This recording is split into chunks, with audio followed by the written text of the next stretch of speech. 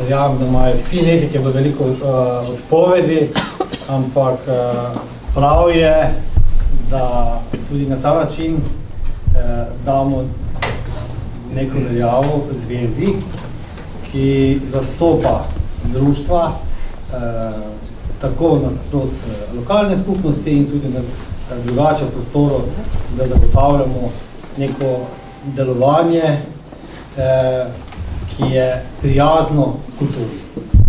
Tako da še enkrat lep pozdrav v mojem imenu, eh, pa bi kar začel z, z delom in sicer eh, eh, odpiram redni občni zbor Zveze kulturnih društv Brežice. Eh, predlagal bi delovno predsedstvo, ki ga je eh, predlaga upravni odbor. Eh, seveda, če bojemo kakšne drugačne predloge, so odprti, bomo pač o njih razpravljali. Eh, predlog eh, upravnega odbora je naslednji. Te brežice za leto 23. Četrta točka je razprava po poročilih. Dajem dnevni red v razpravo. Je kaj za dodatke izvzeti? Morda kak predlog? Ugotavljam, da ni. E, dajem dnevni red na glasovanje. To je zato, da se spremlja takšen. Hvala za leto 2023. E, pa bi prosil predsednika za poročilo, za programsko poročilo.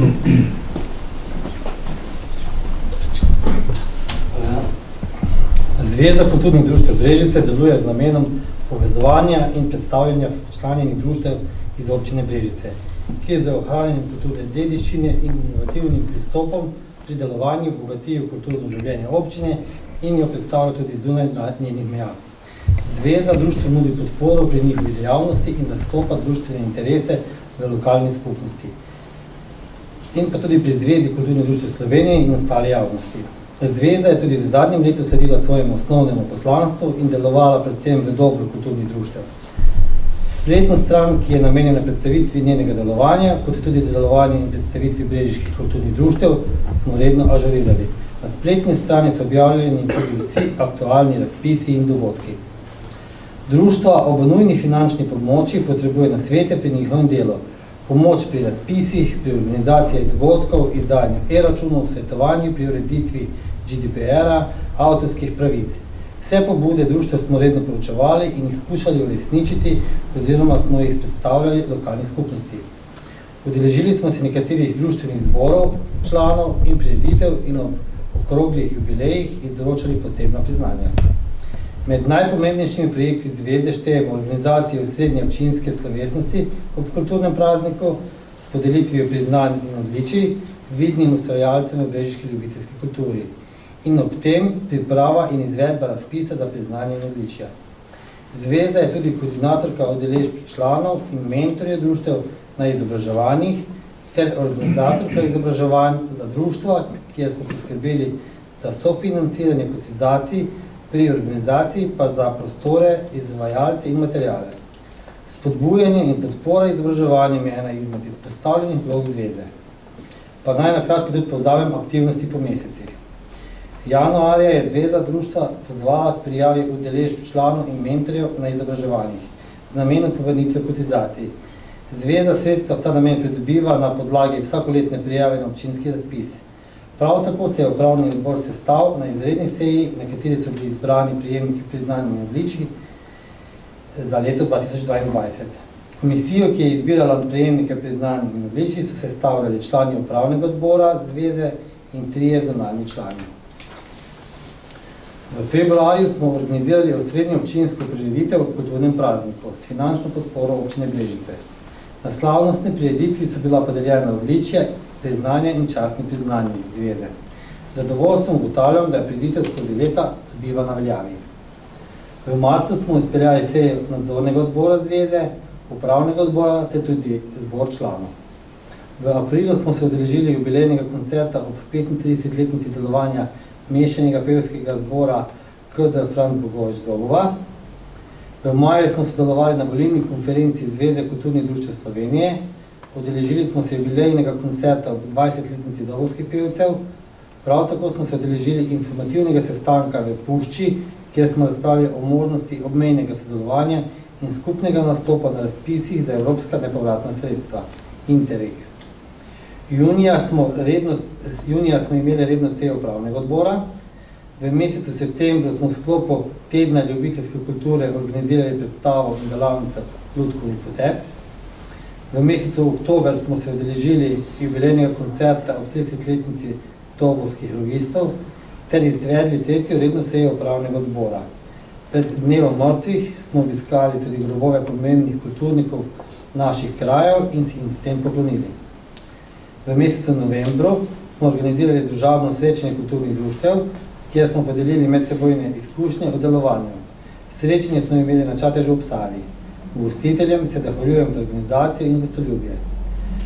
Odeležili smo se tudi jubilejnega koncerta ob 25-letnici delovanja Put Anton Kreč Čatež in pa jubilejnega koncerta ob 10-letnici delovanja Arije iz Kade Zvezda.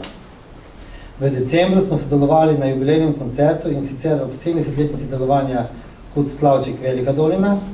Imeli smo pa tudi redno sejo upravnega odbora, s katero smo obeležili zaključek leta 2024. Julija in novembra je zveza z namenom zmanjšanja administracije v kulturnih društvih za večino društev izdajala e-zahtevke za pridobitev odobrenih sredstev iz občinskega proračuna. V letu 2023 je zveza z društvi sklepala pogodbe o povračilu kotizaciji za udeležbe na izobraževanjih in ob dobrem načrtovanju za pridobitev sredstev za te zagotovila financiranje. Društva so bila vsa sredstva tudi izplačana. Zveza je v letu 2023 delovala tudi pri oblikovanju občinskega letnega programa kulture.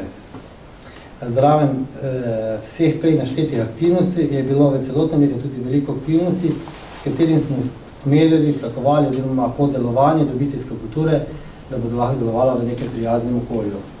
Tukaj ne posebej izpostavim, eh, da smo bom rekel, več aktivnosti izvedli tudi za samo eh, financiranje oziroma uh, najemnine za poslovne prostore, ki jih društvo morajo plačevati. Tukaj je bilo nekaj veliko aktivnosti in jaz verjamem, da tudi s tem našim, bom rekel, z nekaj našimi idejami, da smo prišli do neke rešitve, ki jaz verjamem, da je zagovorljiva za vse. Pa ni dodatnih negativnih finančnih učinkov za društvo. E, tak, da pa mogoče pa povzamem, e, bom rekel, neke te osnovne, ki jih imamo, pa jih jaz dajem na neke tri tri glavne dejavnosti, ki jih zveza uh, izvaja skozi leto. Ena je ta občinska prireditev ob kulturnem prazniku, druga so izobraževanja, ki so zelo pomembna, ki jih izvajamo, mogoče se ne zavedamo, ampak jaz se vsako leto ponavljam. E, če bi ta izobraževanja tekla direktno iz občinskega proračuna, bi verjamem, da določena sredstva ostala v občinskem proračunu. Na ta način se pa lahko, bom rekel, v narekovaje privoščimo, da konc leta še naredimo proračun, pa oziroma, če še niso bila vse izplačena, da poskušamo društvo zagotoviti, da je 100% financiranje. Oziroma, če ni 100%, pa da se vsa sredstva porabijo, ne? ker sklepamo tudi anekse. Na občinske bi bilo, koliko se javiš, dobiš pogodbo, to je izplačano, zdaj pa če vsi ne porabijo, pač ostane v občinskem proračunu in se ne, ne deli dalje.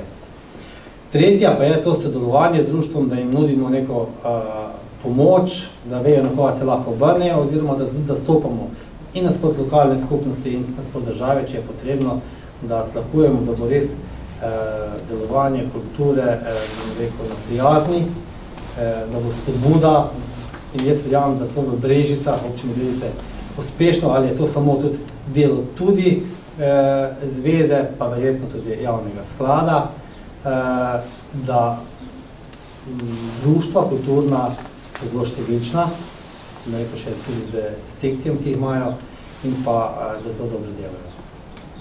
Toliko z moje strani. Hvala. Hvala lepa. Uh, Boško.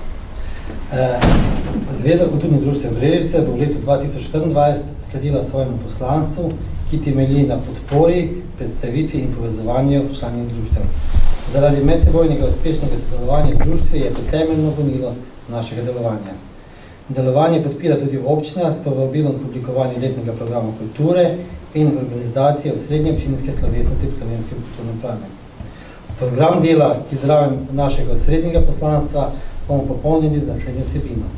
Odločenje o prejemnikih priznanj in odličij izveze, organizacijo srednje občinske prireditve k slovenskem kulturnem prazniku in podelitev priznanj in odličij, izpeljava zbora članov, sodelovanje na tednu ljubiteljske kulture, družabno srečanje s predstavniki ljubiteljske kulture v občini in vodstvom občine Brežice, objava razpise za prejemnike priznanj in odličij zveze, sodelovanje pri oblikovanju letnega programa kulture v občini, sodelovanje z lokalno skupnostjo in Zvezo kulturnih društev Slovenije, sodelovanje z društvi in pomoč pri njihovem rednem delovanju, udeležbi na pomembnih kulturnih dogodkih, izdajanju e-računov za društva, urejenje spletne strani. E, bi pa jaz tudi še ob tem e, se zahvalo, e, predvsem v svojem imenu, tako a, Simoni za res tvorno sodelovanje e, in tudi Lučki. E, moram reči, da podpiranje oziroma iskanje enakih stališč, da podpiramo ene drugega in s tem nastopanjem proti e, lokalni skupnosti oziroma tudi e, proti vsem deležnikom, ki so bom rekel, neki odločevalci, eh, tvori potem nek eh, dodatni uspeh. Rekel, v tem letu, bom rekel, je bilo, oziroma 2024, je bilo na tem področju kar precej narejeno in sem zelo, bom rekel, zadovoljen z tega stališča in še enkrat hvala pomenu. Tudi z moje strani.